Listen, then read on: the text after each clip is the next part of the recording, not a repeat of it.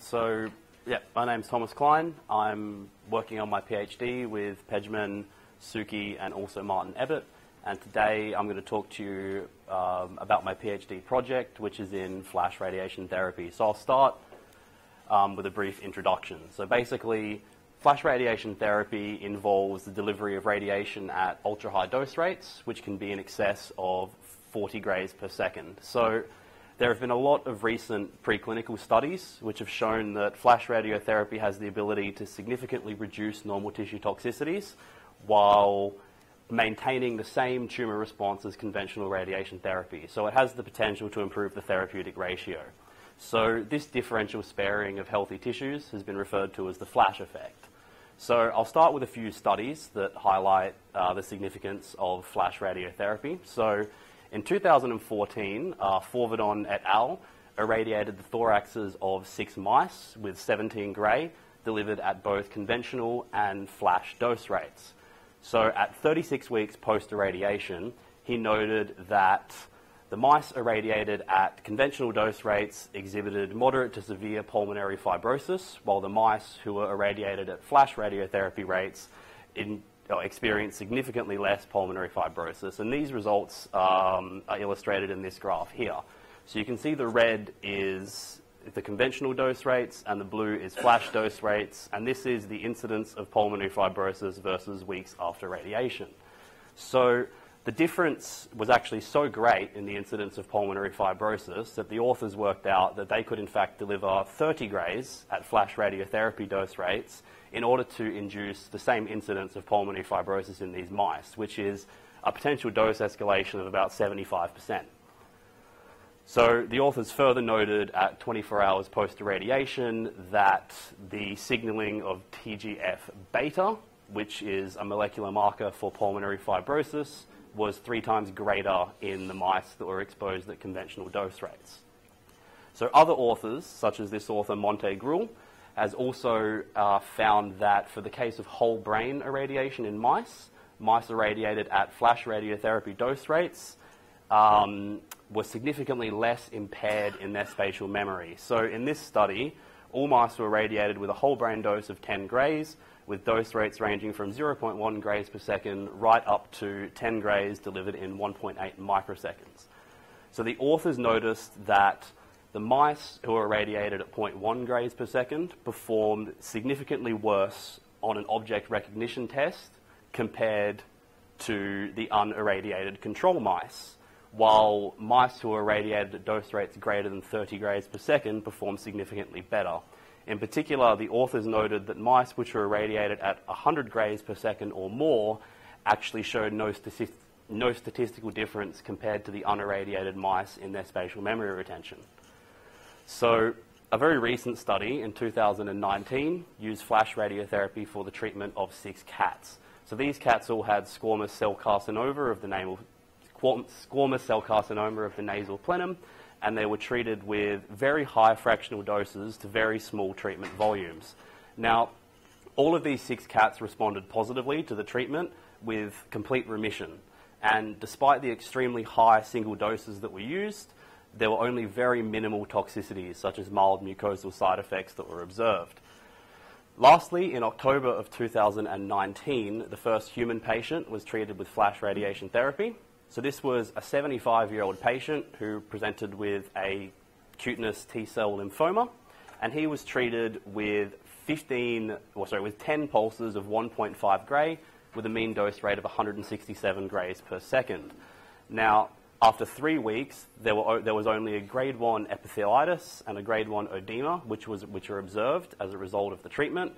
And this is compared to the patient's other lesions, which were treated with conventional radiotherapy and had acute reactions which took approximately three to four months to heal. So, while this is great, there's still no agreement on what the mechanisms behind flash radiation therapy are, what causes the flash effect. So, a little bit of background. Um, in radiation therapy, the role of oxygen is known to play an extremely important role, and the presence of oxy- oxygen sensitizes cells to radiation induced damage.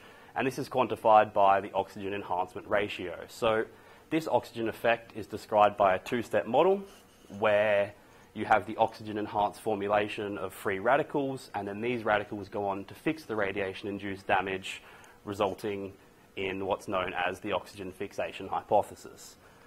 So the flash effect, although it wasn't called that back then, was actually first observed in 1959 when the authors Dewey and Boag irradiated a bacterium at 1% oxygenation.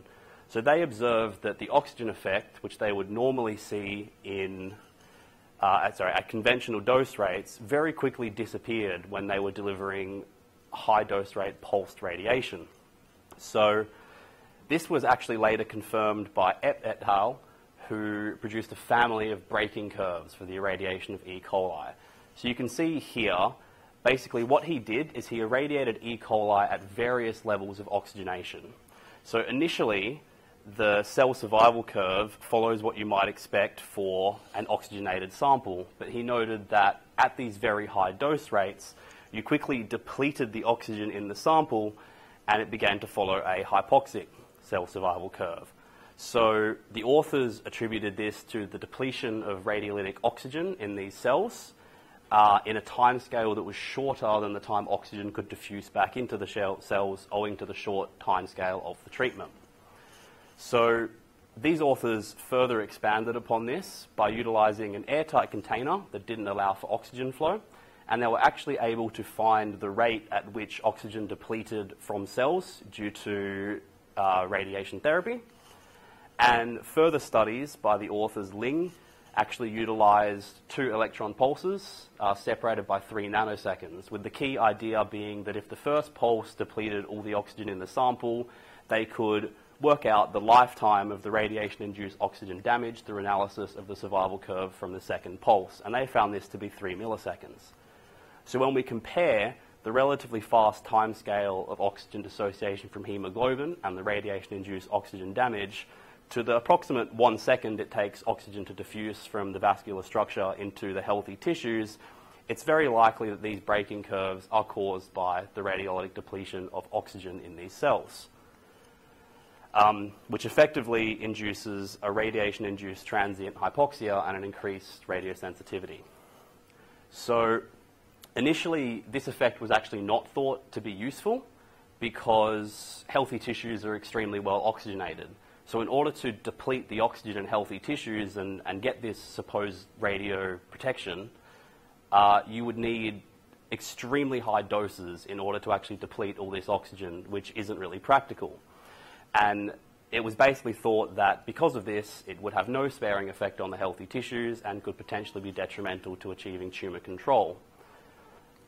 Um, and in fact, studies in 1972 actually reported no flash effect for the ultra high dose rate irradiation of fully oxygenated tissues.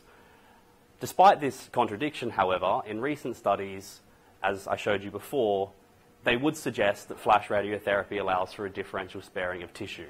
And this study here, uh, which involved the irradiation of zebrafish embryos, actually showed that there was a lower frequency of morphological alterations at flash dose rates compared to conventional dose rates. But what they actually found is that as the dose was increased, this differential also increased, which is supportive of this oxygen depletion mechanism. So, based on this evidence, uh, a recent letter by uh, Pratx et al proposed a potential mechanism for this flash effect. And they believe it to be due to the selective sparing of stem cells, which reside in hypoxic niches in the healthy tissues. So we know these stem cells play an important role in the recovery of radiation-induced damage.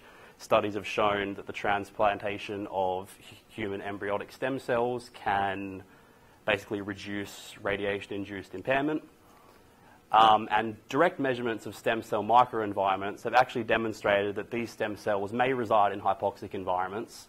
And we have found hypoxic stem cell niches in the bone marrow, in neural stem cells, mesenchymal stem cells, and hematopoietic stem cells, which is all reviewed by this author here. So in 2019, this author then decided to create a computational model for the radiolytic depletion of oxygen in terms of the oxygen enhancement ratio. And his model basically showed a few important things. It considered the oxygen diffusion through healthy tissue, its consumption by the cells, the radiolytic, the radiolytic depletion, and it basically predicted that the flash effect should gradually disappear as the pulse rate increases. Dose should be deposited using the smallest number of pulses to accentuate the flash effect. Uh, a flash effect should only be observed in cells which are already hypoxic or close to it, and changes in capillary oxygen tension should deplete the, the flash effect. However, as this is a very recent study, none of these predictions have been verified experimentally. So, one of the primary challenges with performing experiments in regards to flash radiotherapy is actually having access to an ultra high dose rate irradiator capable of producing such dose rates. And many centers actually opt to use proton beams for this purpose because it's quite easy to get high dose rates within the Bragg peak. So um, this brings us basically to the main aim of my project, uh, where I would like to modify the Varian IX linear accelerator in the Marey bunker for the delivery of a megavoltage electron beam at flash radiotherapy dose rates. So there are two research groups which have actually been successful in modifying a clinical linear accelerator for the delivery of flash radiation.